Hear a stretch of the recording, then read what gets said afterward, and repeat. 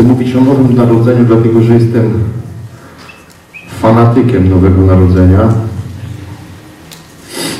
Jestem fanatykiem kilku rzeczy w Królestwie Bożym, nie wszystkiego, ale kilku jestem fanatykiem. Jestem fanatykiem Nowego Narodzenia, jestem fanatykiem chodzenia w wierze, jestem fanatykiem wyznawania w wierze, jestem fanatykiem takich rzeczy. Tak też żyję. I chcę dzisiaj mówić o Nowym Narodzeniu, o tym, co jest jednym z fundamentalnych elementów naszego funkcjonowania w Królestwie, początkiem naszego życia.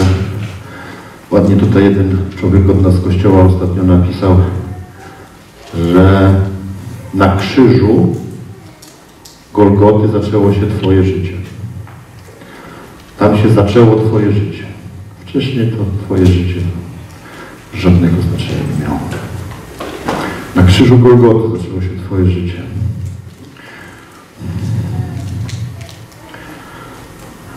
I tam się też zaczyna nowe narodzenie. Ja chcę, żebyście zrobili sobie takie coś do studiowania waszego, bo to mi chodzi o to, żebyście te rzeczy studiowali, których ja tutaj uczę, nie tylko zostawali sobie z tym e, poziomie takim, jak tutaj słyszycie, ale żebyście po to sięgali dalej i badali to. Ewangelia Jana, trzeci rozdział, od 1 do 21. Ewangelia Jana, trzeci rozdział, od 1 do 21.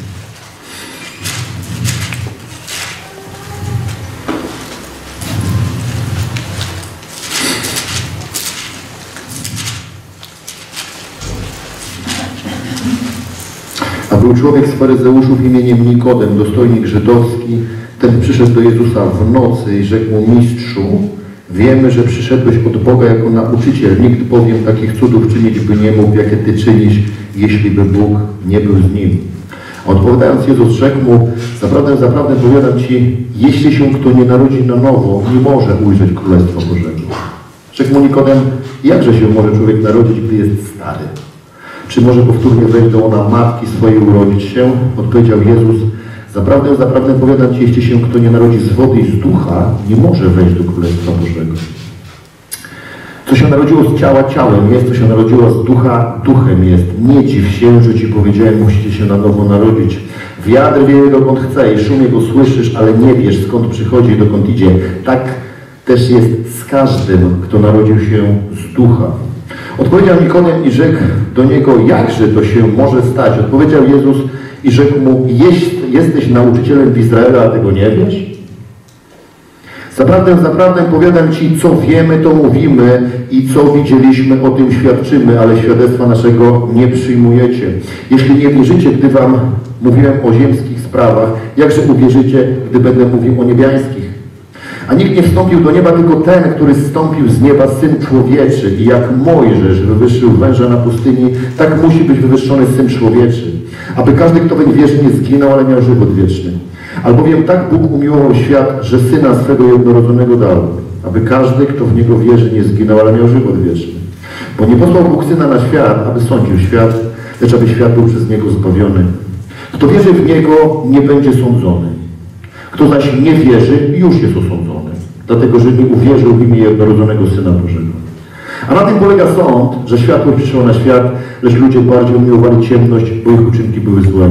Każdy bowiem, kto źle czyni, nienawidzi światłości, nie zbliża się do światłości, aby nie ujawniono jego uczynków. Lecz kto postępuje zgodnie z prawdą, dąży do światłości, aby wyszło na jaw, że uczynki jego są dokonane w Bogu.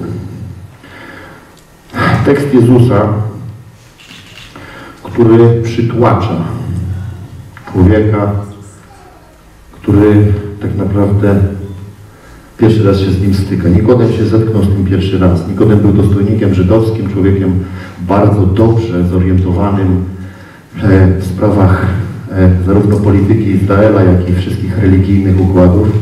Był faryzeuszem, czyli był człowiekiem z takiego najbardziej srogiego stronnictwa religijnego.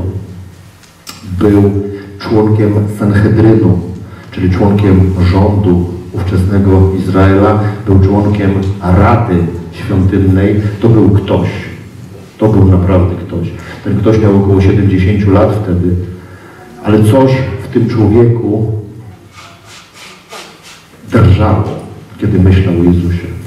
Teoretycznie posiadał wszystko. Posiadał splendor, posiadał pieniądze, posiadał władzę, posiadał szacunek. Rozumiecie?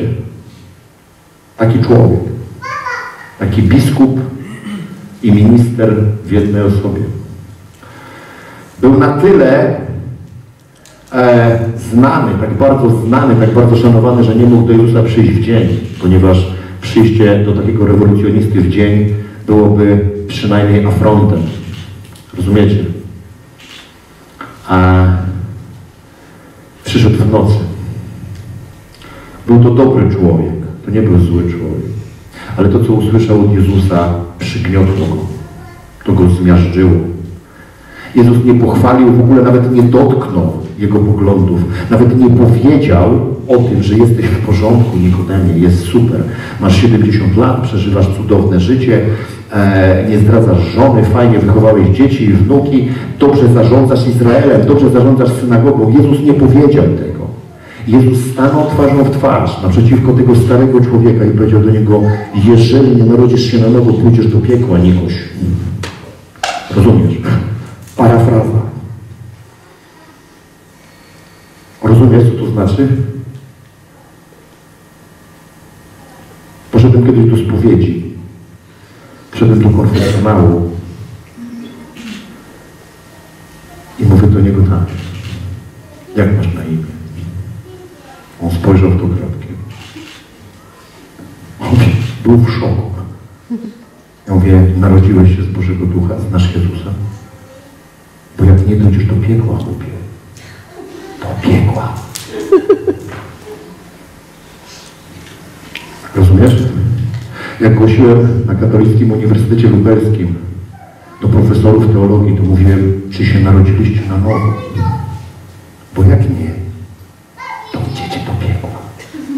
Mimo, że jesteście super i macie Biblię w jednym palcu.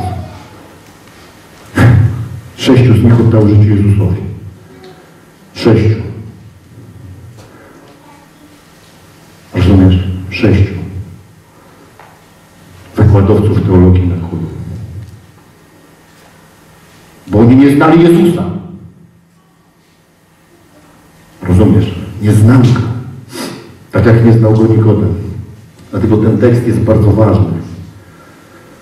Ta historia jest bardzo ważna, bo mówi nam o duchowym odrodzeniu. Do nieba idą ludzie tylko odrodzeni z Bożego Ducha. Inni tam nie wejdą. Nieważne, czy są dobrzy, czy są źli. Ja mając 17 lat zamordowałem człowieka, byłem dealerem narkotyków, sprzedawałem dzieciom amfetaminę. Biłem moją żonę, ćpałem do tego stopnia, że trzykrotnie mi serce stawało od kraka. Wkatowałem ludzi, aż sikali pod siebie. I sprawiało mi to przyjemność. I idę dzisiaj do nieba. Bo się narodziłem z Bożego Ducha. Powinienem wisieć. Zresztą tak mnie rzeczono przez wiele lat. Pan powinien wisieć. Ja mówię, co zrobisz?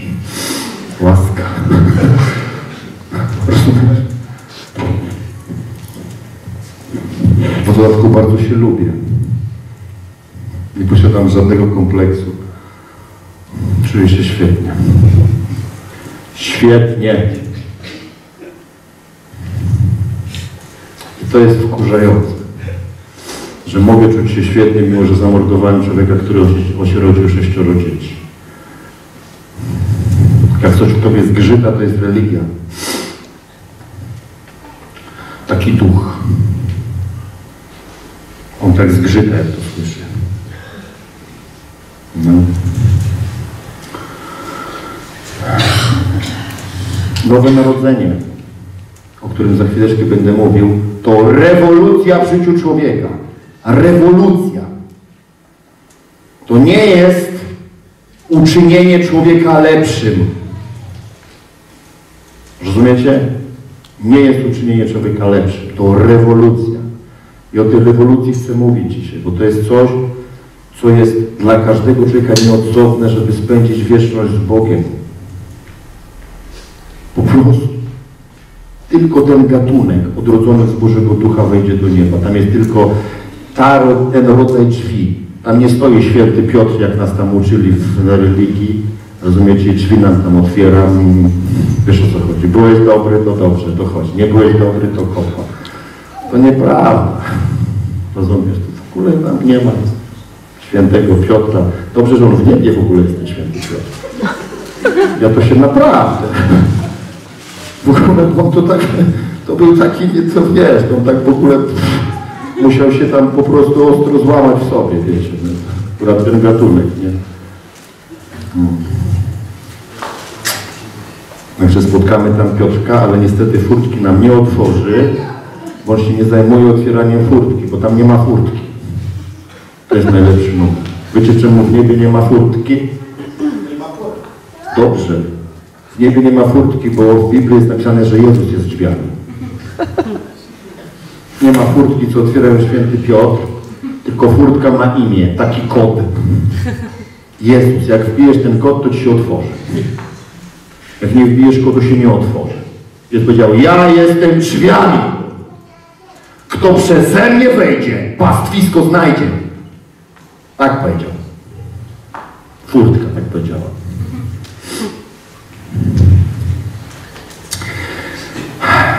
Nowe narodzenie ma u swoich podstaw spotkanie z Jezusem. Nowe narodzenie to spotkanie z Jezusem. Nie można się narodzić na nowo, nie spotkawszy Jezusa. Co to znaczy spotkać Jezusa? No nie znaczy, że ty idziesz i spotykasz średniego wzrostu mulata, rozumiesz, z brodą i o pięknych niebieskich, hollywoodzkich oczach jak to pokazują nam w telewizji, tak? Nie. To nie na tym rzecz polega. On spotkał Jezusa tam, bo tam Jezus chodził po ziemi, ale niedługo później, między innymi trzy lata później, Jezus umarł na krzyżu, stał z martwych, poszedł do nieba i z, ziemi zniknął. Rozumiecie? Jezusa nie ma na ziemi. Posłał za to swojego świętego ducha, Święty Duch to taki Jezus bez ciała. I on tutaj jest. Rozumiecie? Wszędzie. Gdzie jest taki numer, że nie trzeba iść do kościoła, nie trzeba jechać do Jeruzalem. Rozumiecie? Można przeżyć Nowe Narodzenie siedząc na kiblu. Kwestia zorganizowania wewnętrznego. I o tym będziemy mówili. O wewnętrznym zorganizowaniu o tym, co to znaczy narodzić się na nowo. Nowe narodzenie ma u swoich postaw spotkanie z Jezusem. Dziś to jest spotkanie Ducha Jezusa. I co to spotkanie w sobie zawiera? Werset trzeci pokazuje nam, że jest to zdecydowane położenie granicy między niebem a piekłem. Zdecydowane. Zauważycie? Kto się narodzi na nowo, wejdzie do Królestwa Bożego. Kropka. Kto się nie narodzi na nowo, nie wejdzie do Królestwa Bożego. Kropka. Granica. Rozumiecie? Setki lat temu pewna grupa ludzi, dobrze zorientowanych finansowo w ówczesnych czasach, wymyśliła czyściec. Mówią, jest takie coś, że jak dobrze posmarujesz tutaj na ziemi, tak, to mimo, że tam do nieba nie poszedłeś, prawda, bo nie byłeś dobry, to w tym czyśćcu, prawda, posiedzisz sobie, tutaj będą za ciebie becelować, msza za mszą, msza za mszą i się stamtąd wydostaniesz. Rozumiecie? Taki myk został wymyślony. Tam cię wyczyszczą w tym czyśćcu. Tutaj będą płacić za to czyszczenie, tam cię będą czyścić. I tym sposobem tak? Kuchennymi drzwiami wejdziesz do nieba. Rozumiecie? Takie coś zostało wymyślone. Ja prowadziłem bardzo szerokie działania biznesowe, zanim się narodziłem z Bożego Ducha ja nawet rozumiem ten system myślenia. Rozumiesz? Pieniądz nie śmierci. Jak można tak zarobić, ja im się nie dziwię. Naprawdę. Ja wcale nawet Ja nie potępiam nawet tego zjawiska, bo dlaczego mam to potępiać? Tak? Szaleni są ci, którzy kupują ten produkt. To jest szalona grupa ludzi. Ulegli reklamie. Rozumiecie? Bo to jest reklama. Będziesz płacił, wyjdziesz. Nie będziesz płacił, nie wyjdziesz. To jest reklama. Ja rozumiem, zarabia się. Reklama dźwignią handlu. Czyściec ma swoje podstawy finansowe i niech tak zostanie. Ja z tym nie będę walczył. Natomiast nie ma to nic wspólnego z prawdą. Prawda jest taka, narodzisz się z Bożego Ducha, pójdziesz do nieba, nie narodzisz się, pójdziesz do piekła, finito. A więc werset trzeci pokazuje nam zdecydowane położenie granicy między niebem a piekłem. To jest zdecydowane położenie granicy. To jest bezkompromisowa informacja mówiąca o tym, że tylko odrodzenie duchowe daje nam gwarancję wiecznego życia z Bogiem. Tylko odrodzenie duchowe. Tylko, tylko, tylko odrodzenie duchowe. I Jezus na dzień dobry ładuje taki materiał Nikodemowi. A Nikodem człowiek po szkołach. I to mu się tak kłóci, jemu się to kłóci. Rozumiecie?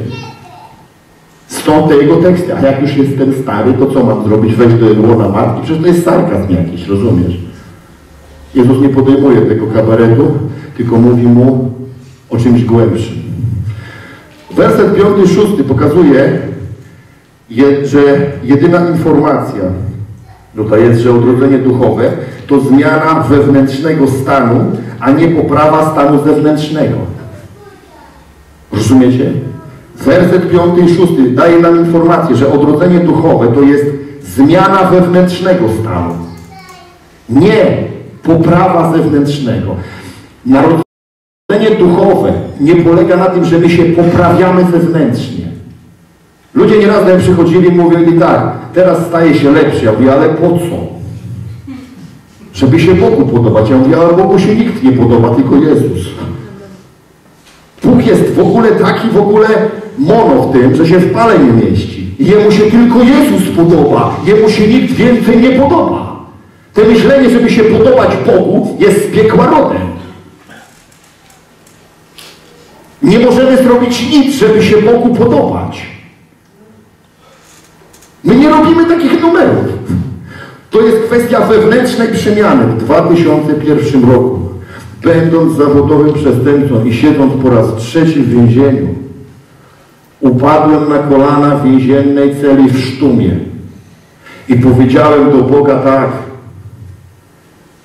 jesteś taki święty, taki czysty, a ja nawet się modlić nie potrafię. Ja nic nie potrafię. Ja jestem kompletne zero. Rozumiesz? I się tam narodziłem na nowo. Ja nie przyszedłem i nie powiedziałem mu, mam taką informację, 64 miliony zrobiłem złe rzeczy, a 14 razy dobre. Spróbujmy jakoś to załatwić. Porozmawiajmy o tym. Bóg nie rozmawia o takich rzeczach. Kiedyś głoszę jednemu człowiekowi Ewangelię, on mówi, co ty? Mówi, a ja człowieka uratowałem, bo on się topi. Ja mówię, dobrze ratowniku, do piekła pójdziesz. Dlaczego pójdę do piekła? Bo, bo człowieka uratowałem? Nie, mówię. Dlatego pójdziesz do piekła, bo nie chcesz oddać życia Jezusowi. Bo uważasz, że na podstawie Twojego uczynku, jednego, drugiego, trzeciego, porządnego, to teraz Bozia powie do Ciebie, kaman, jesteś w porządku. Bozia nie mówi w porządku, bo Bozi nie ma w ogóle. Nie ma takiej instytucji jak Bozia. Rozumiecie o co chodzi? Co to jest w ogóle Bozia? Mnie tak uczyli, pomóc się do Bozi. Ja się modliłem do Bozi lata, człowieku. Dziękuję Bozie za papusiu i proszę Bozie o zdrówko. Potem trzeba było mnie uwagać od demonów jakichś, jak się nawróciłem, jest Bozi. Człowieku. Bóg nie licytuje się z ludźmi. W ogóle On nie rozmawia z nami o naszych dobrych uczynkach. Dla Niego nasze uczynki, rozumiecie, są wszystkie do niczego. Do niczego. Do niczego. Wszystkie. Dobre i złe. Złe nie są zbyt złe, a dobre zbyt dobre. A więc wszystkie idą pro Ciebie od razu do utylizacji. I to jest dramat dla ludzi. Przecież byłem dobry. Ja mówię, będziesz miał takie specjalne miejsce w piekle dla dobrych.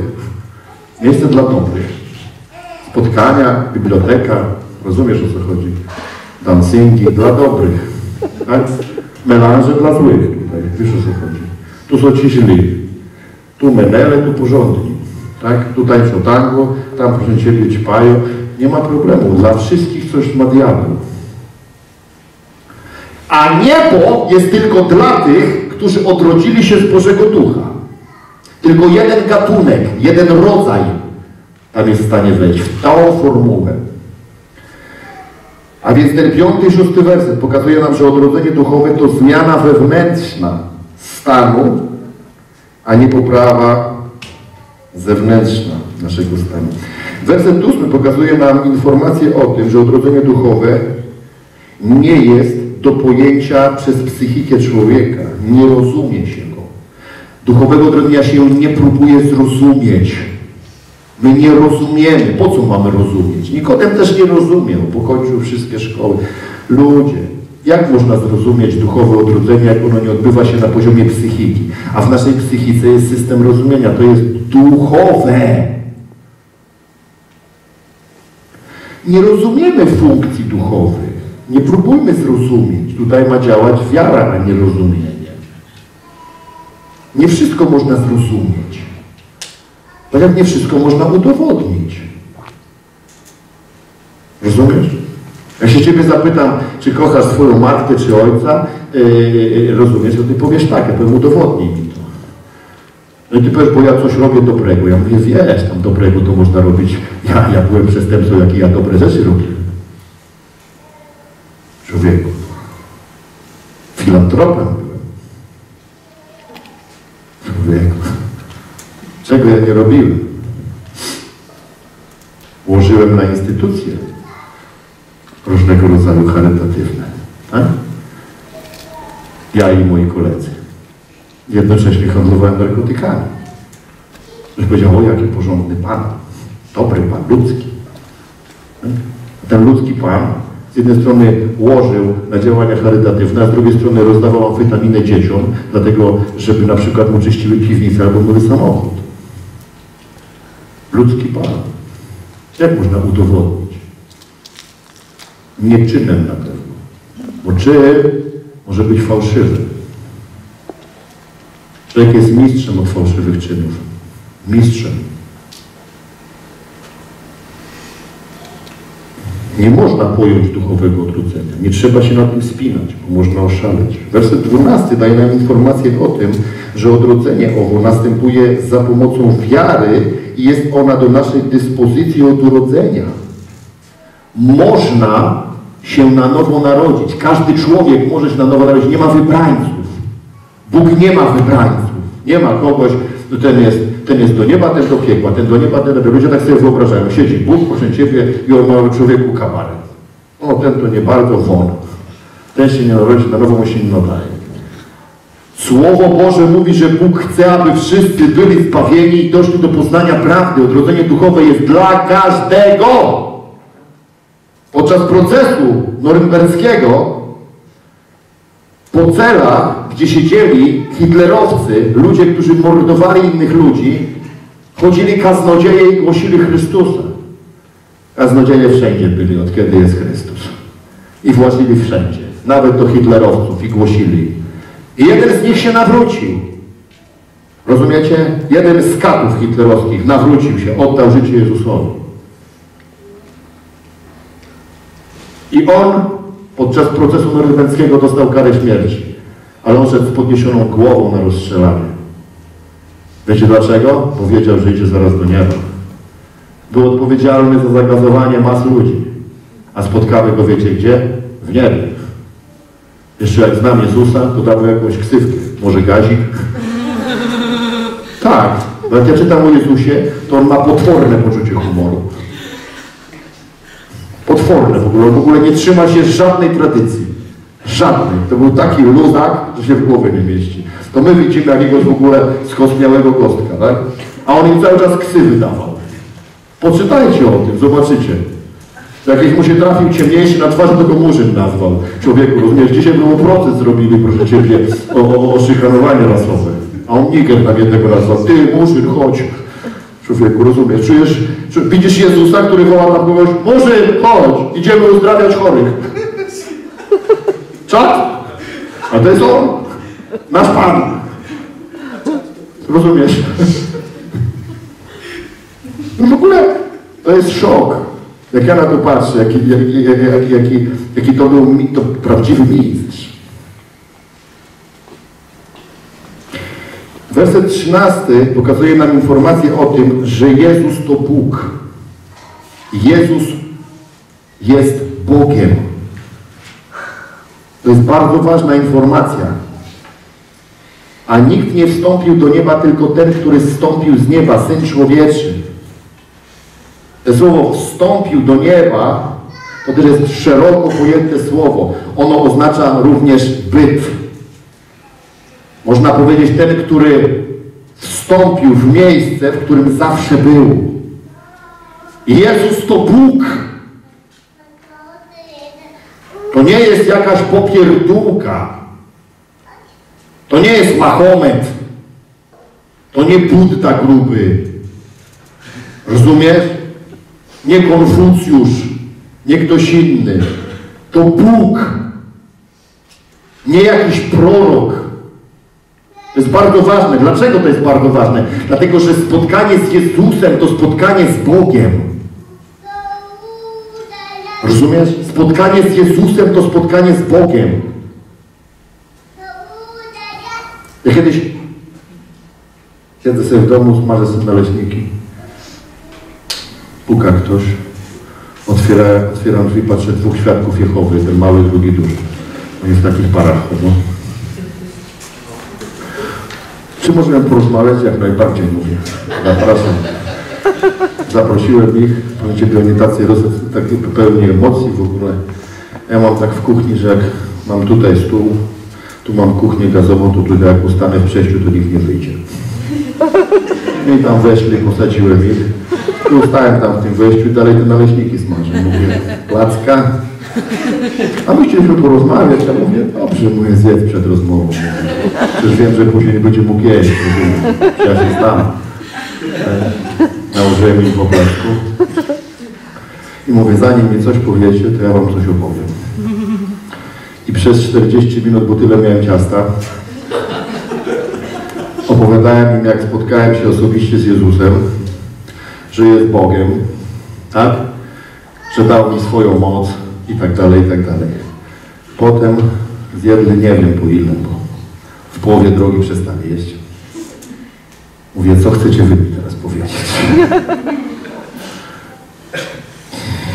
Nic. Nic mi nie mieli do powiedzenia. Ja mówię, no to cóż mogę powiedzieć? No to rozważajcie teraz sobie te rzeczy, myślcie o nich. Życzę miłego dnia. Największym naciskiem, kiedy mówiłem, to największy nacisk kładłem na to, że On jest Bogiem i że jest we mnie. To dla nich jest dramatem. Ale to jest to, co jest największego, największym faktem. Jezus to Bóg i On o tym tutaj mówi.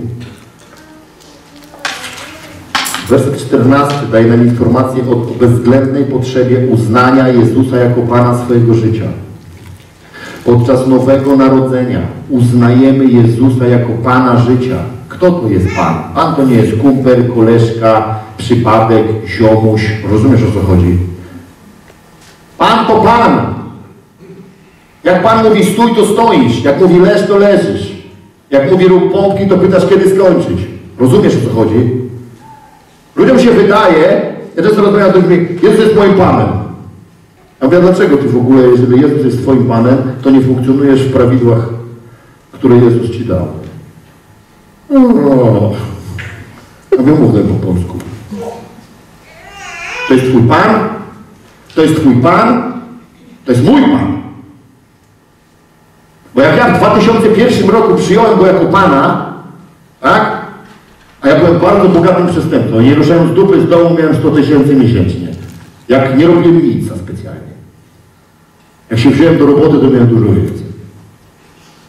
Rozumiesz?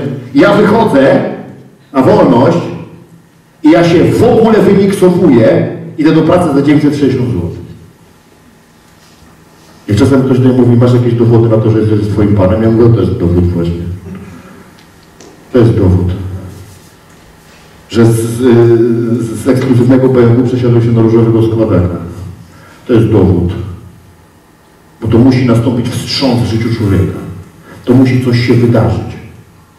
Rozumiesz? To musi coś się wydarzyć. Ja wszystkich moich kolegów, zawodowych przestępców, bogatych ludzi informowałem, że spotkałem Jezusa.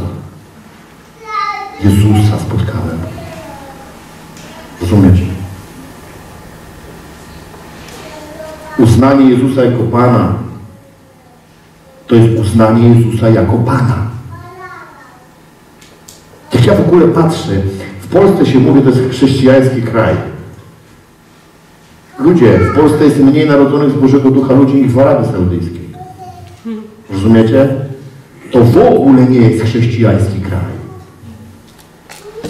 W ogóle nie jest chrześcijański kraj. W Pakistanie jest więcej wierzących w Boga ludzi. Rozumiesz? A nie w Polsce. Polska jest na szarym końcu. Rozumiesz? To odbyt Boga. Człowieku, ta Polska. Ostatek, końcówka. Rozumiesz, co to jest? To jest taki kraj. To się mówi chrześcijański kraj. Jaki kraj chrześcijański? W tym kraju Bogiem wyciera się buty,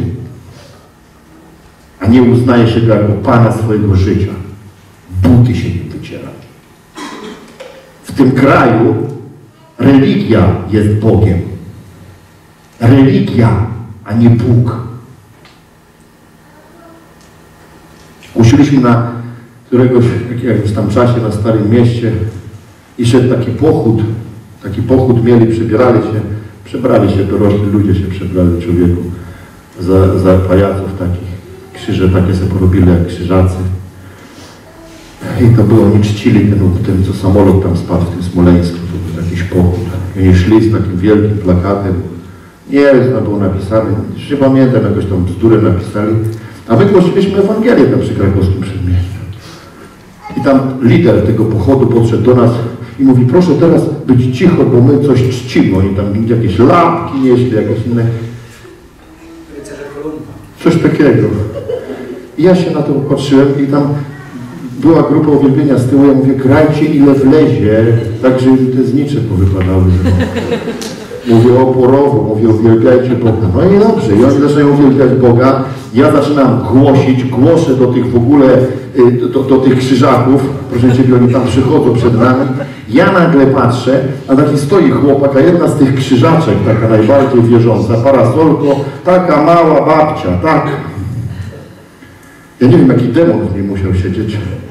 Leje w ogóle chłopaka od nas z kościoła parasolko po kroku. Leje go. Ja mówię, ale jazda. A z taką zapamiętałem, ja mówię, mówię skinhead. Wiesz o co chodzi. A, a, dru, a, a, druga taka, rozumiesz, takim też y, y, pobożnym człowiekiem, wsadzili kawał cegły w reklamówkę, zakręcili i idą mnie tą cegłą utłuc. Rozumiesz o co chodzi? Religijni Polacy. Szok. A my o Chrystusie mówimy, rozumiesz? My nie mówimy nic o polityce, my nie mówimy o żadnych w bo mamy na to wywalone. My mówimy o tym, że Jezus jest Panem, że trzeba się opamiętać, oddać życie Bogu. A ci cudowni Polacy idą do mnie z kawałkiem cegły, żeby łeb rozwalić. W naszym kraju. Rozumiecie? Jak jeden raper zaśpiewał o tym, że Maria to jest Żydówka, to był tym na pół kraju. Człowieku, Polacy myśleli, że Maria jest Polką. Bo to jest antysemicki kraj. Rozumiecie? Jest tak, Maryja jest naszą królową, a ten nawet śpiewali w ogóle, to jest w ogóle Żydówka, urodziła Żyda. Żyd siedzi na tronie wszechświata, Żyd. Obrzezany Jezus. Ale jasna, w ogóle wiesz o co chodzi? Głową kościoła jest Żyd. I teraz w ogóle weź się z tym wstecz. Ale w tym kraju jest nieakceptowalne. Tu się mówi w ogóle, że Maria jest Żydówką. Co ty gadasz? Nie, nie Maria. Nie nasza Maria. Nasza Maria pochodzi z centrum Mazowsza. Ona stąd jest. Zawsze była piękna, niebieskooka blondynka. Rozumiesz o co chodzi? W ogóle co to za historia jest? Tak? To była normalna, tak? Ciemnoskóra brunetka. W ogóle Żydówka. Kurczę, taki był numer. Dlatego informacja o bezwzględnej potrzebie uznania Jezusa jako Pana to jest uznanie wszystkiego, co Jezus, tak, uznaje za wartość. Tam jest takie greckie, homologe, takie greckie słowo homologeo, które mówi, że uznać Go jako Pana. To jest homologeo, czyli uznać wszystko w Nim za ostateczną prawdę.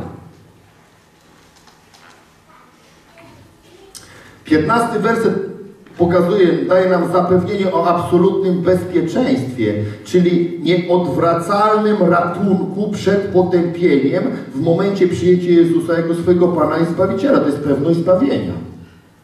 Zobaczcie, co tutaj w ogóle jest napisane w tym 15 wersecie.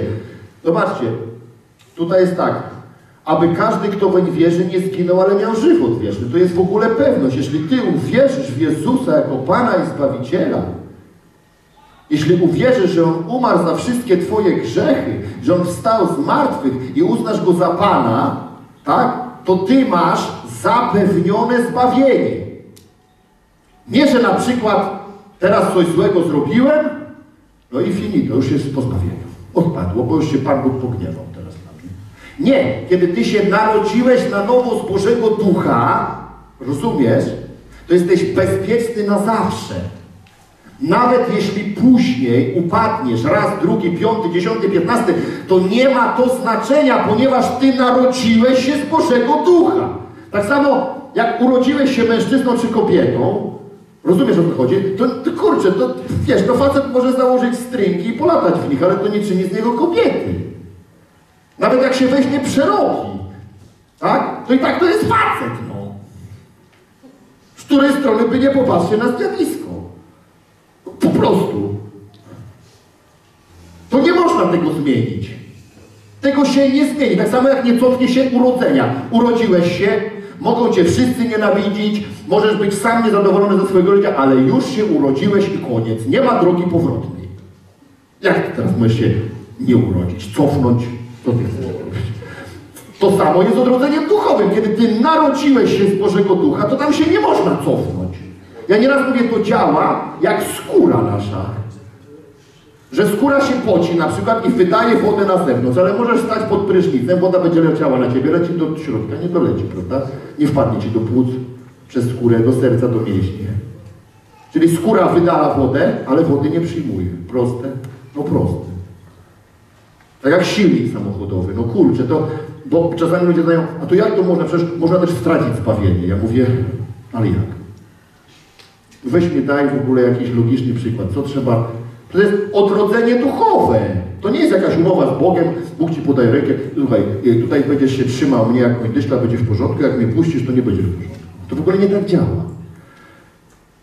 Kto uwierzy w Niego jako Pana i Zbawiciela, ten jest zbawiony, kropka. A więc tutaj mamy zapewnienie o absolutnym bezpieczeństwie.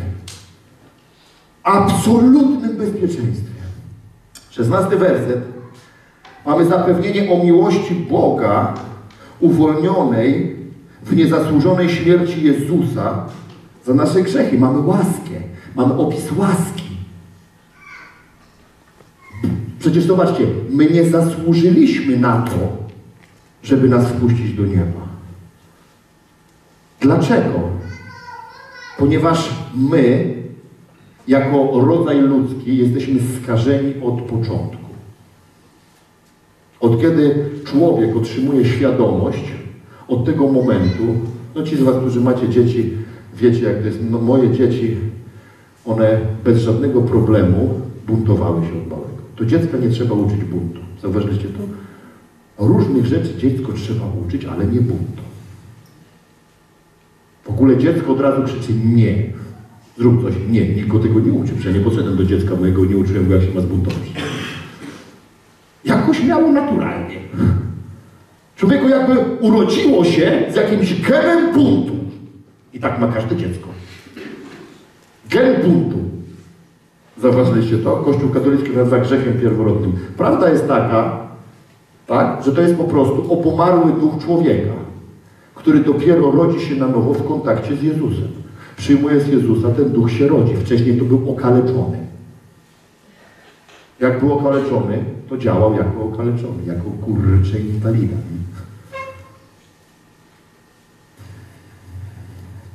Siedemnasty werset. Eliminacja poglądu o Bogu, który jest sędzią. W takiej konfiguracji, w jakiej świat nam to podaje. Słyszeliście te teksty? Będziesz to robił, to Bóg cię ukara. Rozumiesz? No nie ukara. Powiedzieć wam coś? Straszną prawdę, która rozbija myśl humanistyczną. W ogóle Bóg na sądzie ostatecznym w ogóle przede wszystkim zada ludziom pytanie, każdemu po kolei. Oddałeś swoje życie Jezusowi? Nie. I to będzie powód, dla którego ów człowiek w dalszej konfiguracji będzie sądzony na podstawie swoich czynów. Bo ktoś, kto oddał życie Jezusowi, automatycznie, automatycznie nie będzie miał poruszonego żadnego, tak, czynu swojego życia, który mógłby negatywnie wpłynąć, tak, na jego wieczność. To tak nie działa. A już teksty pod tytułem, że Bóg sądzi dzisiaj ziemię, że trzęsienie ziemi Bóg dał, bo tam była pedofilia, albo to Bóg zrobił, albo w ogóle teraz to było, że Bóg spalił Australię, w ogóle czy inne głupoty. Co to są za głupoty? Bóg jest zamieszany, że zobaczycie, co Boga zrobili w pożary. Boga zamieszali, piromana z niego zrobili, podpalił Australię. Bóg, bo się zdenerwował, proszę by na Australii teraz co robimy? Podpalamy Australię. Wstał Bóg rano, proszę przeciągnął się. Gabriel, on zabieraj aniołów, zjaraj Australię, bo oni tutaj za bardzo lecą, proszę Ciebie, za tym, za LGBT. To trzeba tutaj z nimi zrobić porządek. Zjaramy homasów wszystkich po kolei, proszę dzisiaj palnik, dzisiaj Pan z palnikiem. Taka jest mentalność. I chora religia tak twierdzi. Rozumiecie? Tu trzęsienie ziemi, tam to tam. Nie. Jezus mówi, jak, no muszę tu przeczytać. Bo nie posłał Bóg Syna na świat, aby sądził świat, lecz aby świat był przez Niego zbawiony. No po to tu Jezus przyszedł, żeby uratować ludzi. W ogóle rozumiecie to? W ogóle rozumiecie, że my jesteśmy Bogu do niczego niepotrzebni? W ogóle.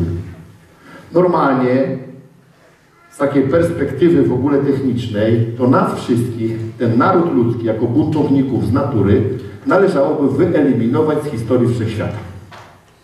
Tak? Normalnie po prostu rozwalić ten cały układ słoneczny, ze Słońcem również, tak? I zagospodarować inny układ słoneczny, tak? I tak dalej. Bo po co my jesteśmy? Po nic. Po nic. Ale On mimo wszystko schodzi na ziemię jako człowiek. Umiera za nasze grzechy, wstaje z martwych, daje nam wszystkim szansę wejścia do nieba. Rozumiesz? No przepraszam, no kurczę. Dla mnie to jest najwyższy rodzaj miłości, jaki może być. To jest niezasłużona przychylność. No nie zasłużyłem na to. No ja nie zasłużyłem na to. Nie zasłużyłem, żeby iść do nieba. Ludzie to mówią, Pan nie zasłużył, żeby iść do nieba. Jak najbardziej, ja nie zasłużyłem. Ja w ogóle nie zasłużyłem na to, żeby być dla mnie miłym. Co tam, żeby do nieba iść. ja w ogóle nie zasłużyłem. Tak? Bo ja męda społeczna byłem całe życie. Wcale nie zasłużyłem. Osiemnasty werset pokazuje jasne, jednoznaczne określenie podziału ludzi na sprawiedliwych i niesprawiedliwych na podstawie wyboru Jezusa jako Pana i Zbawiciela. Czyli ten, kto wybiera Jezusa jako Pana i Zbawiciela, ten, tak, staje się człowiekiem odrodzonym z Bożego Ducha. Ten, kto nie wybiera Jezusa jako Pana i Zbawiciela, automatycznie podpisuje na siebie wyrok śmierci. I koniec. Sam podpisał. Nie chcę zbawienia. powiedział. Nieraz do mnie mówili ludzie, nie chcę. Mówi Artur, ale ja nie chcę tego Jezusa. Ja to też byłem głupi, bo chodziłem za ludźmi i tak mówię, no weź tego Jezusa, no weź, no przyjmij go, no przyjmij. Tak łaziłem za nimi, przyjmij, przyjmij. W ogóle wiele o co chodzi. I po jakimś czasie mówię, co ja robię w ogóle, no. Chodzę za ludźmi i ich proszę, żeby przyjęli najdroższy skarb na świecie. Ja to nieraz powtarzałem, dylematy mi to rozwiązało, jak, jak w ogóle w Antwerpii przeszedłem się w ogóle ulicą, w ogóle gdzie były sklepy z diamentami. Ulica szara, jakiś wiadukt naprzeciwko, człowieku, sklep z diamentami za sklepem z diamentami. Rozumiesz o co chodzi? I prawie żadnej reklamy. I Bóg do niej powiedział, nie diamentów się nie reklamuje. Nie reklamuj mnie. Nie chcą mnie przyjąć, to niech podpisują na siebie te wyroki. Ty idź i głoś, tak? I niech przyjmują ci, co chcą. Kurczę! Przecież to skarb! Przychodzi na ziemię Bóg w ciele i proponuje tej głupiej ludzkości ratunek za free. I mówi tak. Jesteście głąby do potęgi N. Nie chcecie normalnie żyć od prawieków. Cały czas coś kombinujecie. Flirtujecie z diabłem notorycznie. I mam dla was taką propozycję. Umrę za was na krzyżu, bo ktoś kurczę musi umrzeć tutaj z tego towarzystwa. Wstanę z martwych i każdy, kto we mnie uwierzy, uznając mnie za Pana swojego życia, pójdzie do nieba za free. Kurczę, wyobrażasz sobie, masz długi w banku, długi, duże długi. I przychodzi do ciebie ktoś. Do domu. Elegancko ubrany facet, nasz nie wiem, milion dolarów długu. Masz nóż na gardle. Tak? Już się dowiedziałeś, proszę ciebie, że samochód z czterema smutnymi panami, z grubymi karkami jedzie do ciebie. Rozumiesz o co chodzi? I zdajesz sobie sprawę, że nie będą ci cytować Mickiewicza. Ale przed nimi wchodzi do ciebie do domu elegancki mężczyzna i mówi do ciebie tak, słuchaj, głąbie, jesteś winien banie papieru temu i temu bankowi. Jadą po ciebie oprychy. Rozumiesz? Żeby ci zrobić krzywdę. Chcę, żebyś wiedział, że jesteś nic nie wart. Jesteś głupi, nabrałeś kredytów, nie umiesz ich spłacić, przeżarłeś to wszystko i przebalowałeś. Tak? A ty, no dobra, tak. Okej. Podpisz ten papier. A co to jest? Że ja przejmuję wszystkie twoje długi, a ty jesteś wolny. Pasuje ci? No i trzeba być idiotą skończonym, żeby nie podpisać. Żeby powiedzieć, no ja nie wiem co. Rozumiesz, to jest szok. Tu jadą oprychy, tu jadą oprychy. Jesteś winien banie papieru. Tak? Przychodzi ktoś do ciebie, jasno wie, kim ty jesteś, nie uznaje ciebie za kogoś w ogóle naprawdę ważnego, czyli nic od ciebie nie chce. Nic od ciebie nie chce. Nic. Rozumiesz? Jego majtki są więcej warte niż wszystko, co posiadasz. Rozumiesz o co chodzi? Stoi przed tobą i mówi do ciebie tak, zrzeknij się na mnie, zrzuć na mnie swój dług. Ja to zapłacę. A ty pytasz, ale przepraszam, dlaczego? On mówi, bo kapię z tego. Podpiszesz, ty i kupa ludzi mówi, nie, nie podpiszę, bo ja sobie poradzę. No kurczę, ty go w mordę raczej. No jak można nie chcieć, jak można nie chcieć zostać ułaskawionym z długu? Jak można powiedzieć, ja sobie poradzę, ale masa ludzkości otrzymuje informacje o Jezusie jako Panu i Zbawicielu i mówią, ja sobie poradzę, ja nie potrzebuję. Stąd podpisują na siebie wyrok śmierci. Przez to właśnie, nie przez to, że byli źli. Bo Boga nie obchodzi, że ktoś jest zły czy dobry. Boga interesuje to, żeby uratować każdemu tyłek. Bo to jest czysta miłość. Boga nie interesuje to, żeby nas rozliczyć. Boga interesuje to, żeby nas uratować. Bo On jest zdrowy domyśle. To nie jest psychopata, który mówi, ale będzie jazda, mm, tego rozliczę, temu urwę nogę, temu wyjmę oko. O, wiesz o co chodzi? Siedzi i się jara na koniec świata, wiesz. On taki nie jest. To czysta miłość, która schodzi na ziemię jako Jezus i mówi przyjmij mnie, a niweluje cały Twój pług. Otworzę Ci niebo i stworzę Ci możliwości szczęśliwego życia. No przecież to wariactwo tego nie przyjąć. Stąd ten tekst. Że tu jest taki potężny podział. Kto wierzy w Niego, nie będzie sądzony. Kto zaś nie wierzy, już jest osądzony. Dlaczego? Bo nie przyjął Syna Bożego. A nie dlatego, bo był zły. Czemu jest osądzony? Bo nie przyjął Syna Bożego. Jakby przyjął, to by była amnestia. Ale nie przyjął. Był pyszny. Ja sobie poradzę.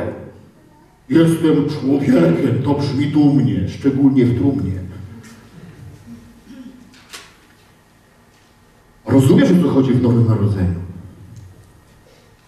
Po prostu przyjmujesz tą propozycję.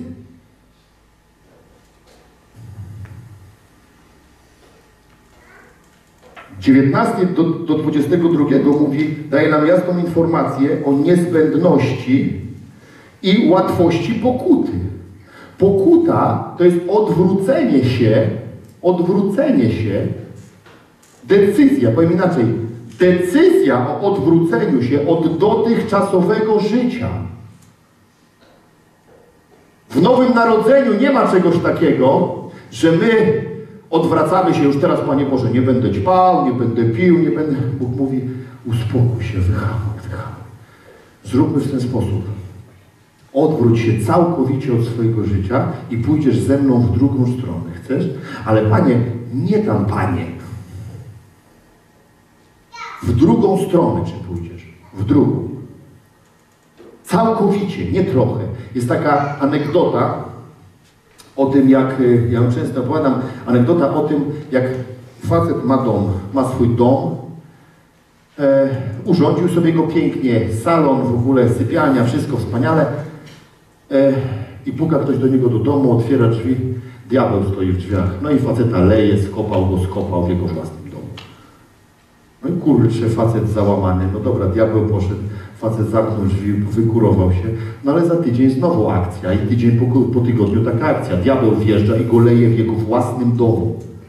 I facet w ogóle zaczyna się załamywać tym. I któregoś dnia dochodzi informacja, że jest jakiś tam Jezus, który w ogóle jako, że on, że on pokonał diabła.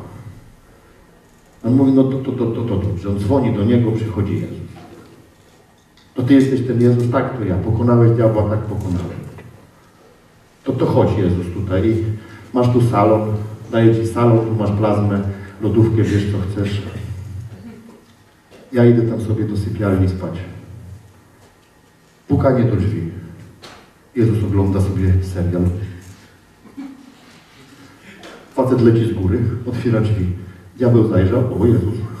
Faceta w łeb, w łeb, skopał go i poszedł. Facet w ogóle się zbiera. Mówi, Jezu, ale Jezus mówi, serial. Facet sobie myśli, okej, za mało mu za mało. Za mało. Mówi tak, Jezus, Twój salon, kuchnia, sypialnia, wszystko Twoje. Ja do piwnicy, tam mam taką koleżankę, w piwnicy będę. Jezus mówi, jak uważasz? Siedzi sobie, serial ogląda, pukanie do drzwi. Jezus nie drgnie, no nie drgnął nawet. Facet leci z tej kotłowni, otwiera drzwi, akcja jak zwykle. Diabła w ogóle nic nie rusza, tak? Facet załamany mówi, Jezu, o co Tobie chodzi w ogóle? Co Ty chcesz ode mnie? Wszystko Ci dałem. I to kotłownie mam Ci dać, czego Ty chcesz? Mówi, Jezus mówi, wiesz co, ja Ci coś powiem. Wiesz, że nerwowy jesteś. Zróbmy tak. Przynieś tutaj dokumenty tego domu swego. Ten przyniósł, mówi, zróbmy tak. Ufasz mi? No a nie, nie ufam, przecież cię zaprosiłem. Dobrze, przepisz ten dom do mnie. Przepisz dom, weź sobie ten salon, bo ja tam nie takich salonach spałem. Ja tam pójdę do kotłowni, bo lubię samotnie sobie posiedzieć przy piecu. A ty w ogóle mieszkaj sobie i żyj. Pukanie do drzwi, facet z łóżka wstaje, Jezus z kotłowni, gdzie idziesz? No drzwi otworzy. Jezus mówi, nie, to nie jest twój dom. Ja otworzę. I wiesz, co się dzieje. Diabeł jest zlany i skopany. Dlaczego? Dlaczego dopiero teraz? Bo otrzymał akt własności. Bóg to nie dziwka. Jego nie zaspokaja parę groszy.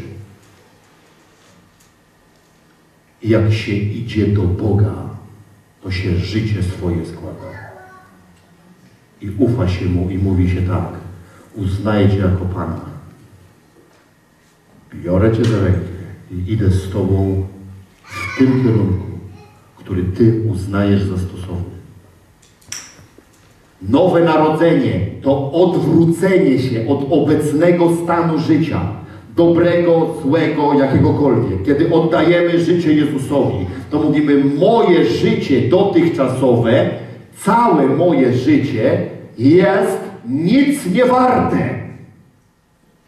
Niewarte są moje studia, niewarta jest moja rodzina, niewarty jest mój biznes, nic nie warte. Biorę Cię za rękę i idę z Tobą. Wiecie, czego ludzie się boją? Że kiedy zrobią taki ruch, to Bóg ich wszystkiego pozbawi. To jest jedno wielkie kłamstwo. Przecież to czysta miłość. Przecież jak On zszedł na ziemię, żeby mi uratować tyłek, to ja się pytam, jakże On, tak, nie miał mi by dać wszystkiego. No przecież mi oddał siebie. Dlaczego Wam o tym mówię? Ponieważ spotkanie z Jezusem to spotkanie na gruncie ducha, łaski, wiary, miłości, poczucia bezpieczeństwa, pokuty i poddania. To jest nowe narodzenie. Nowe narodzenie to spotkanie z Jezusem. Uznanie Go za Boga. Uznanie Go za Zbawiciela. Zaufanie Mu. Podjęcie decyzji, że całe nasze życie dotychczasowe było nic nie warte i pójście z Nim. To jest nowe narodzenie. To jest nowe narodzenie. Oto nowe narodzenie. Ja się na nowo narodziłem w 2001 roku. To nie oznacza, że my po nowym narodzeniu nie popełniamy błędów, że my często nie próbujemy zawrócić z tej drogi. Nie, ale decyzje już zapadły. A coś Ci powiem. Jeżeli zapada decyzja, prawdziwa decyzja, rozumiesz, to będziesz szedł. A powiem Ci więcej. W pewnym sensie On Cię będzie niósł. W pewnym sensie On Cię będzie niósł w tym wszystkim. Bo życie Twoje przestaje być życiem już jedynie na poziomie naturalnych zdolności. Ja od kiedy narodziłem się z Bożego Ducha, od tego momentu doświadczam nadprzyrodzonego funkcjonowania. Jest nadprzyrodzone. To, że w ogóle Wy mnie tutaj słuchacie, to jest nadprzyrodzone. To nie jest normalne, że Wy mnie słuchacie.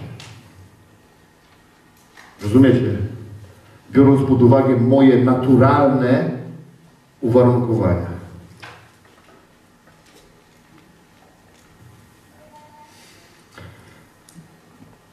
Żeby to podsumować,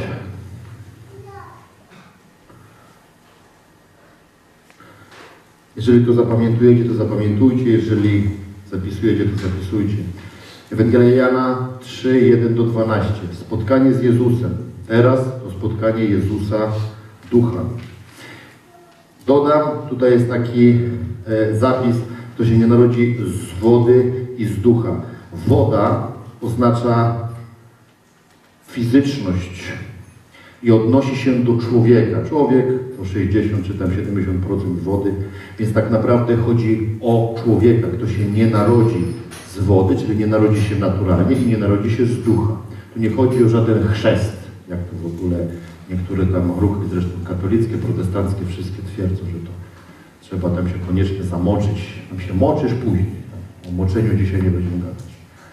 Tak? Mówimy dzisiaj o tym, że to jest kwestia połączenia dwóch czynników. Człowiek się rodzi fizycznie na tej ziemi, tak? Człowiek się rodzi z wody, a następnie człowiek się rodzi z ducha. Tak? Samo narodzenie z wody nic nie daje. Z drugiej strony nie można się narodzić z ducha, jeśli się nie zaistnieje na tej ziemi jako istota zrodzona z wody, czyli istota naturalna. E, Ewangelia Jana 3, 13, 15 widzimy sprawiedliwość Bożą, sprawiedliwość poprzez uwierzenie w Jezusa Chrystusa jako Pana i Zbawiciela. Tak? Sprawiedliwym jest ten, który uwierzył w Jezusa jako swojego Zbawiciela i uznał Go za swojego Pana.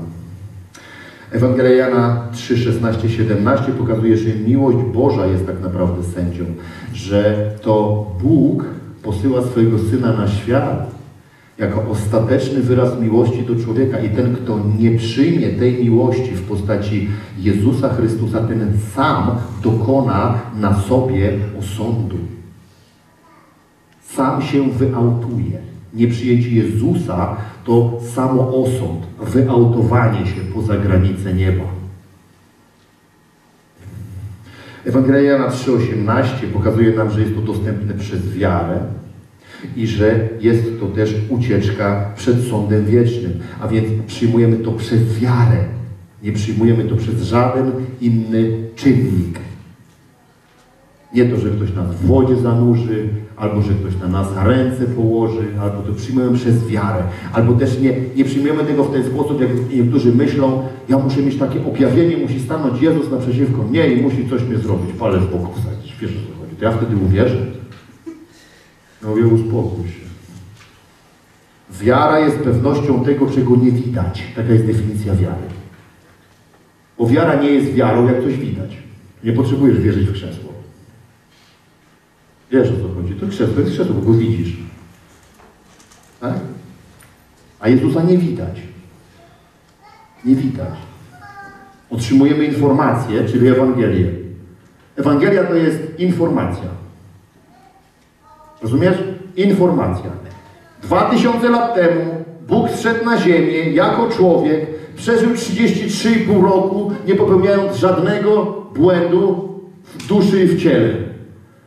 Poszedł na krzyż, umarł za grzechy wszystkich ludzi, wstał w ciele z martwych, poszedł do nieba i każdy, kto teraz w Niego uwierzy, nie zginie, ale będzie miał życie wieczne. Taka informacja. Do Ciebie dociera, to wow, taki numer. I Ty, jeżeli zaczniesz wierzyć tej informacji, to nastąpi w Tobie manifestacja Świętego Ducha i narodzisz się z tego Ducha, staniesz się nowym człowiekiem. Przez to też uciekniesz przed sądem wiecznym, czyli nie staniesz na sąd. Kiedyś ktoś do mnie mówi, Cię Bóg osądzi. Ja mówię, nie osądzi mnie, bo to jest mój ojciec. Mam znajomego sędziego. Mówię, mówię masz pojęcie w ogóle człowieku? Czujesz klimat? Jak cię osądzi, wiesz, wstajesz rano, rozumiesz, a on cię łaskocze za uchem, wiesz, sędzia Sądu Najwyższego cię osądzi, weź, bez przesady. Jak wy mieszkacie w jednym domu, jedzie z jednego garka. I macie wspólnych znajomych, tak? Zaraz cię osądzi, tak? Bez przesady. Wystarczy znać sędziego, już ci nikt nie osądzi. Wszystko się opiera na układach. Tak, jest to jeden wielki układ. Rozumiesz? Ludzie, taki mój znajomy z osiedla mówi, to, to niesprawiedliwe! Zobacz, jak wygląda twoje życie, jak moje. Ja mówię, ale to ty masz mnie pretensje, że ci życie nie idzie. No ale ty nie zasłużyłeś. Ja mówię, no pewnie, że nie zasłużyłem. Właśnie dlatego, że nie zasłużyłem, tak, to mam lepiej. Przyjąłem sobie ratownika, normalnie załatwił za mnie sprawy, wiesz o co chodzi. Ewangelia Jana 3, 19, 21 pokazuje, czym jest pokuta, czyli osądzenie siebie w oparciu o to, co mówi Bóg. To jest bardzo proste. Jeżeli Bóg do mnie mówi tak, Artur, byłeś łachudrą. Tak, Panie, byłem łachudrą. Co zrobiłem? Zgodziłem się z Bogiem. Pokuta. To jest proste. Ludzie myślą, że pokuta polega na tym, rozumiesz, Jedni myślą, że to chodzi o to, że tam idziesz do tego domku z kratką, proszę Ciebie tam tu, temu księdzu coś powiesz, potem smokniesz, proszę Ciebie, go w tę tę szmatę, co tam wystaje i Ty mówisz, że to w porządku. Mówi, grzechy Twoje odpuszczone trzy razy zdrowaś Maria, osiem razy daje kolanie na meczu Gorię, proszę Ciebie, będzie dobrze. Fanatyk gimnastyki. Rozumiesz? I zboczenie oratoryjne. To nie to jest pokuta. Też nie jest pokutą to, że leżę, jak jestem straszny, jak jestem zły. Nie! Pokuta, o czym będę mówił na drugiej sesji to jest zgodzenie się z Bogiem. Jak Bóg do Ciebie mówi tak, do tej pory byłeś menelem.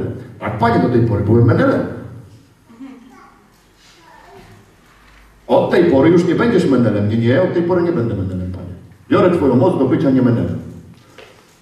Rozumiesz? Pokuta, czyli samoosądzenie, a nie walka z Bogiem i tłumaczenie Mu dlaczego, po co. Kradłeś, kradłem. Kim byłeś złodziejem? Mordowałeś, mordowałem. Kim byłeś mordercą? Pokuta. Samoosądzenie. I zgoda na utratę starego życia. Zgoda, zgoda. Ja się narodziłem z Bożego Ducha, w więzieniu wtedy siedzę, tuż przed wyjściem mówię, dobrze Boże, wychodzę, pakuję swój plecaczek i mówię, jeśli Ty mnie nie zatrzymasz, to po prostu opuszczam lokal. Ja miałem taki plan. Pakować plecaczek i zmienić swoje życie, nawet na poziomie fizycznym. Byłem gotów zostawić wszystko i wszystkich. Wszystko i wszystkich. To jak, ja mówię, musisz mnie zatrzymać. Zrób mi coś z głową, bo w innym wypadku to plecaczek i ja w ogóle wybywam.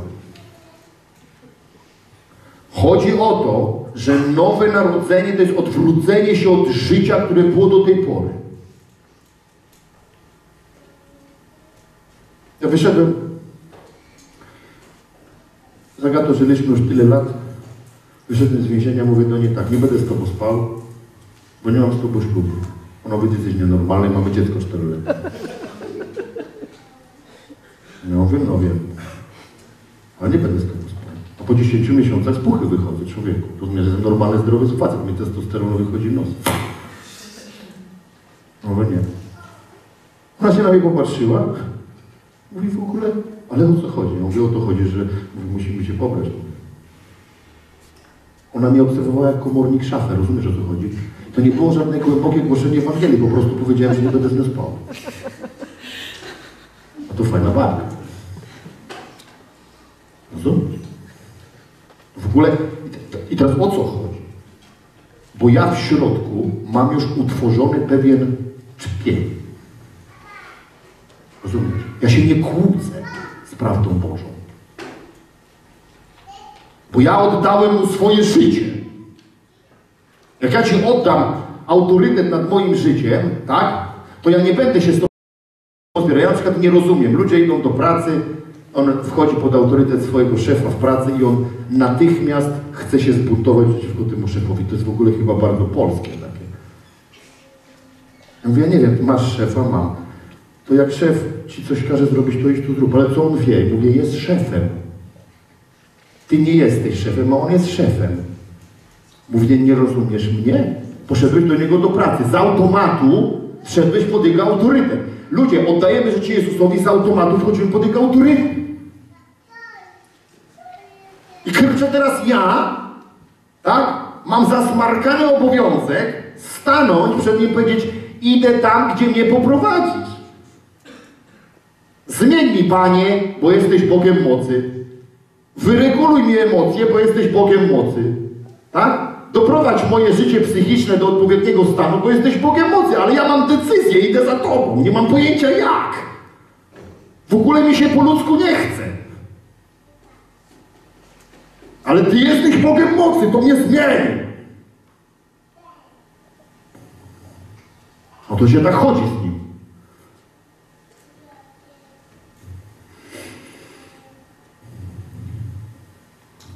Zapisujcie sobie dalej w liście do Rzymian 8, 32, 34. Jest jasne określenie, że On umarł i zmartwychwstał.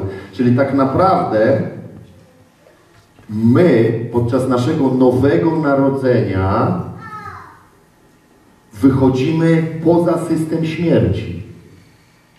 Ja się nie boję śmierci.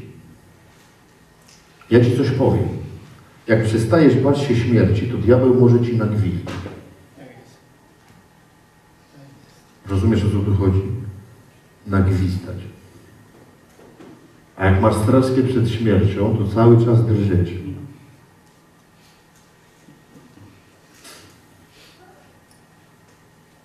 Ale przyjąłem Jezusa jako Pana Zbawiciela. Śmierć jest dla mnie zyskiem. Zysk. Ja głoszę Ewangelię sukcesu przez całe życie będę ją głosił, bo tylko taka jest, nie ma innej Ewangelii. I jednak Ewangelia sukcesu to nie jest coś, co wielu ludzi uważa, że nią jest. Ponieważ podstawą jest to, że moje obecne życie jest mniej warte niż moje życie wieczne. Dlatego śmierć jest zyskiem. Ja się nie boję śmierci. Jak się nie boję śmierci, to mogę prowadzić szczęśliwe życie na ziemi. Dopiero mogę być realnie szczęśliwy, rozpędzić się tutaj i w ogóle, wiecie. Mateusz 10:39 pokazuje stratę, pokazuje zgodę na stratę starego życia, totalną stratę i wskutek tej zgody otwarcie na życie. Czyli tak naprawdę, kiedy zgadzam się na to, żeby wszystko się zmieniło w moim życiu, to wtedy dopiero otwieram się na realny manifest Boga. Pamiętajcie, Bóg nigdy nie pójdzie na kompromis. To znaczy, On nigdy tam, gdzie jest coś starego, nie będzie dodawał nowego. On nigdy takich rzeczy nie zrobi. On na czysto lubi. On w ogóle lubi w ogóle na czysto. Na czysto. Nie ma czegoś takiego, że funkcjonujesz na przykład w gronie przyjaciół, starych przyjaciół, którzy cię dołują i niszczą i prowadzą cię w grzech. I jednocześnie mówisz, daj mi nowych przyjaciół, którzy będą teraz tacy dla mnie inni. Nie. On będzie chciał, rozumiesz, żeby ci ludzie, którzy do tej pory byli przez ciebie uważani za przyjaciół, tak, byli wyautowani, a na ich miejsce wejdą prawdziwi przyjaciele. Nie mówię o znajomościach, bo znajomości to jest masa i znajomości to nie chodzi o... Chodzi o to, gdzie nasze serce się wiąże. Moje serce było powiązane z wieloma ludźmi, tak, którzy byli w świecie i nie było tam miejsca na ludzi, którzy są częścią Królestwa. Jak zacząłem się autować swoim sercem z tamtych ludzi, pojawili się ludzie Królestwa, którzy zmieścili się absolutnie dokładnie w tym miejscu. I Ewangelia Jana 14 rozdział 16-18 pokazuje, że Duch Święty w Tobie jako dawca życia Boga, Jego gwarant, kiedy się narodzi, rodzimy z Bożego Ducha, ludzie, łączymy się z Bogiem, z Jego Duchem. Kurczę, to jest stałe połączenie. On wchodzi w Twojego Ducha, miesza się z Nim i powstaje jedna bryła. Cały czas jest w Tobie, nigdzie się nie wybiera z Ciebie. Nawet jak upadniesz, jak zgrzeszysz, to Panie Duch Święty jest w Tobie. Rozumiesz? On Cię podnosi, On Cię kieruje, On Cię prowadzi. To jest nowe narodzenie. Realne nowe narodzenie. Dlatego też nowe narodzenie, przyjaciele, jest jedną z najbardziej czytelnych cech. Bo to jest potężne oddzielenie, różnica. To jest różnica. Wielka różnica. Wielka różnica. A religia proponuje zupełnie inną rzecz. W tym kraju zapytasz się człowieka, jak w ogóle wierzysz w Boga. No pewnie. A kto by nie wierzył w Boga? Wszyscy wierzą w Boga. Wszyscy wierzą w Boga. Diabeł też wierzy w Boga. Demony wierzą w Boga. Ale to nie znaczy, że są porodzeni na nowo. Rozumiecie? Głosiłem do mas ludzi w życiu. I zawsze im głosiłem o Nowym Narodzeniu. Katolikom, protestantom, różnym. O Nowym Narodzeniu. I jako ludzie Boży musimy mieć głęboką świadomość Nowego Narodzenia. I nie wolno nam też dać się wkręcić w to, że wchodzimy w środowisko ludzi, którzy twierdzą, my też chodzimy z Bogiem. A ich życie to nie jest życie odrodzone. Nie. Ja byłem w religii. I wiem, co to jest. Ja wiem, że jest masa ludzi w różnych kościołach w Polsce, w katolickim, w prawosław- prawosławnym, w protestanckim, wszędzie, gdzie nie poznali Jezusa osobiście, gdzie nie spotkali się z Nim, nigdy nie narodzili się na nowo. A są tam. Często są przywódcami. Rozumiecie? A oni nic nie wiedzą o Nowym Narodzeniu. Są jak Nikodem. Wielu z nich jest dobrych, tylko nigdy nie zrobiło kroku. A Nowe Narodzenie z drugiej strony będzie zawsze podstawą każdej rzeczy w Twoim życiu. Ja dzisiaj, ja wstaję rano, mówię, Boże, jestem odrodzony z Twojego ducha, jestem Twój, nic mnie nie może tknąć. Porozważajcie to.